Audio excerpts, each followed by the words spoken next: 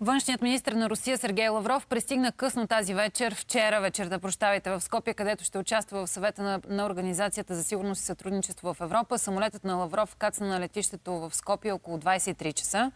Руската информационна агенция ТАС съобщава, че пътуването е продължило повече от 5 часа, за да може Лавров да пристигне през Гърция, а не през България, както се очакваше. Според ТАС причината е говорителят на Руското външно министерство Мария Захарова на борда, която е в санкционния списък, а даденото разрешение на България не се отнася за членове на делегацията му, които също са санкционирани. Оттам, между другото, дойдоха и първите реакции от Захарова за забраната да лети над България. Опасна глупост на неграмотни чиновници и това ще си а, говорим сега с а, нашите гости. А те са именно Владимир Кисьов, бивш заместник министр на външните работи, който е на пряката ни линия. Здравейте, господин Кисьов. Господин Кисьов, чувате ли ме? Добре, колеги, моля проверете връзката с господин Кисьов, защото очевидно той не ме чува. А професор Михаил Станчев е тук в студиото и с него ще започнем сега разговора ни. Той е преподавател в Харковския университет. Познат вие вече от участията си в различни е, телевизии, а, с разкази за войната в Украина и с целия ви анализ на случващото се в а, етапите на развитие на тази война, която между другото продължава и към днешна дата. Сякаш свикнахме с нея и спряхме толкова много да говорим. А, но дайте по, да, да започнем с, с, с цялата тази сюжетна линия около Лавров, външния министр на Русия и опасната глупост, както определя, също така определя забраната да лети над България Захарова, говорителят на външното министерство, част от делегацията на Лавров. Въпросът е доста сложен, разбира се, защото в състава на делегацията заедно с Лавров са 17 дипломати, плюс говорителката Захарова и още 24 журналиста. А, кой от тези дипломати са в санкционния списък, не, не мога да кажа точно, а докато Захарова е да. И затова в последния момент явно или Русия реши, че по-добре да обиколи България, но може би и България най-вероятно отказа заради нея. Това беше едно от условията. А, и затова той мина през Турция и през това през Гърция, за да стигне на времето в Скопие. Самото пристигане на Лавров на срещата, на 30-та среща на министри на външните работи на ОСС-то, най- най-голямата организация за сигурност в света, е фрапиращо. Защо? Защото на фона на войната, на агресията на Русия срещу Украина, и не само срещу... Нали, Путин какво каза? Че ние воюваме не с Украина, ние воюваме с НАТО. Ние воюваме с Европа, с обединена Европа. А не допускате и, ли... И щом допу... воювате срещу... Защо тогава ги пускате не на тези? Не допускате ли, че пък неговото присъствие там а, може да е един вид основа за започването на някакви преговори? на това Европа да се окаже медиатор на едни преговори между Украина и Русия? Точно на това разчита и Русия а, Жозеп Борел нали, го каза, че ползата от присъствието на Лавров ще е нека да чуе мнението на другите държави относно агресията в, а, на Русия срещу Украина. Но Жозеп Борел е или наивен, или не разбира какво говори. Значи Русия прекрасно знае мнението на другите държави, вижда, че няма една платформа и още след Кримската инвазия Путин разбра, че Западът мълчи. Макар, че официално го осъдиха. Затова тръгна към Донбас. След Донбас, когато Европа само приказваше, и да, осъжда, конкретно никакви стъпки не предприе, той започна агресията срещу Украина. Дори след 24 февруари, макар че вече Европейския съюз се събуди, НАТО се събудиха, разбраха опасността, че целта е не само Украина, и не е само Донбас, по-точно и Крим, а цялата Украина. А след това, ако стигне рус, руската армия, ако стигне чак до Европа, тогава какво ще прави НАТО и Европейския съюз? Това би трябвало да го разбирате. Така че той ще чуе Лавров. Но а, и те искат да използват ОСС-то като платформа за преговори. А, а има ли такива намерения от страна на Европа? Тоест, Очаквате ли Европа да предприеме такива разговори в тази посока?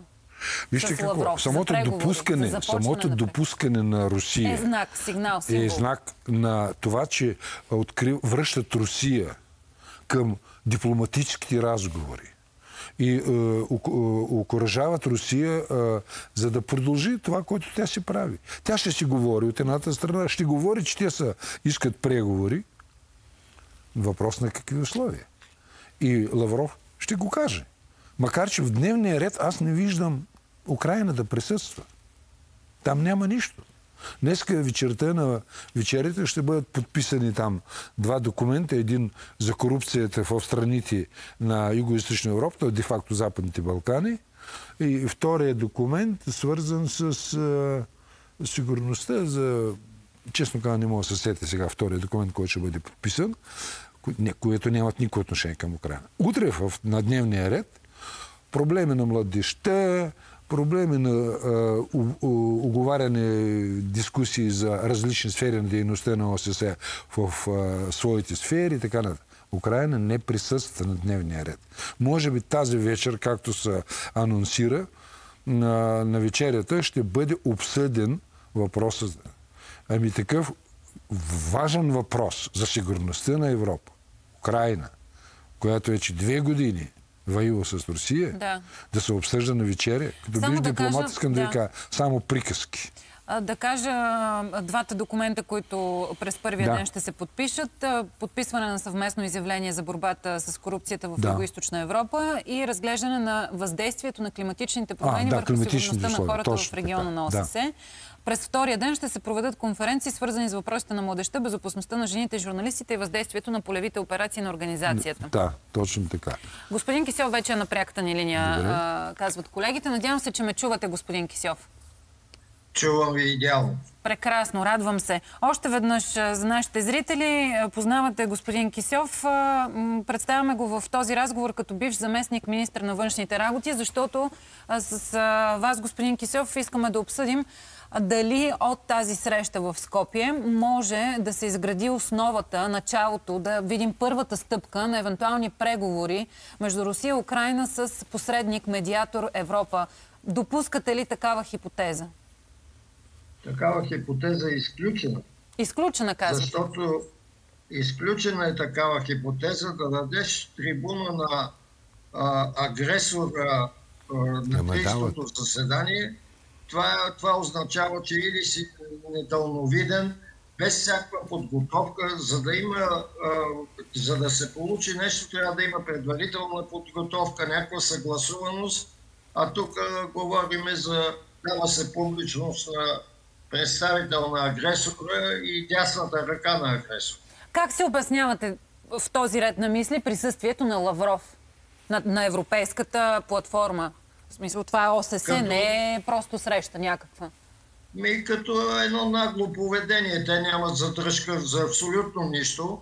Както виждате, България им даде разрешение за прелитане без а, други санкционирани лица да присъстват в самолета. Те обаче демонстрация на силата показаха, като прелетяха през Турция и Турция, за да отидат с най-опасния човек от външно министерство, говорителката на външно министерство. Защо казвате неопасният човек? Защото от толкова злост от говорител на външно министерство никога не съм чувал през живота си. Господин Кисьов, още нещо искам да коментираме. Така и така стигнахме до е, фигурата на Мария Захарова. Тя каза следното. Опасната глупост на някакъв интригант, цитирам, във властовите структури на България. Факт е, че правилата за въздушно движение се регулират от Чикагската конвенция за международно гражданско въздухоплаване от 1944 година. Тя предписва територията на държава, трябва да се разбира като сухопътни територии и прилежащите към тях включва териториални води. Въздушното пространство не е включено в термина територия. В този смисъл незаконните и без това санкции на Европейския съюз не могат да се разширят до прелитащ самолет, на чието борт се намира лице, на което е забранено да влиза на територията на държавата. Общо взето Захарова нарича опасна глупост на неграмотни чиновници забраната да прелети тя в самолета на Лавров над българското въздушно пространство. точно това коментирах, този агресивен тон на Захарова и нейното тълкование, така както тя си реши, сме свидетели толкова години. И е, трябва да проявяваме и ние нетърпимост и чувство за достоинство пред такива хора. Трябва ли някаква, някаква реакция да видим сега от Външно министерство или от Министерския съвет? Аз, аз мисля, че не е необходимо повече реакция. Това, което трябваше да направи България, го направи. Даде разрешение на външния министр на Русия и не, не даде разрешение за всички останали лица.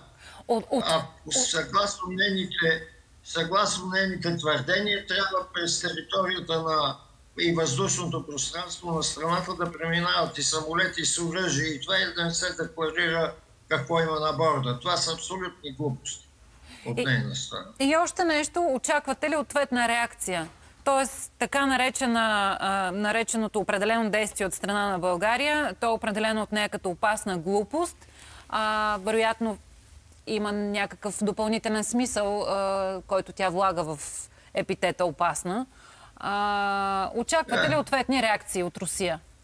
И какви могат да Не- бъдат не те всъщност? как- какви повече реакции от Русия, освен това, че води хибридна война на Балканите, хибридна война в България, каква по-голяма реакция от, може да чакаме от Русия?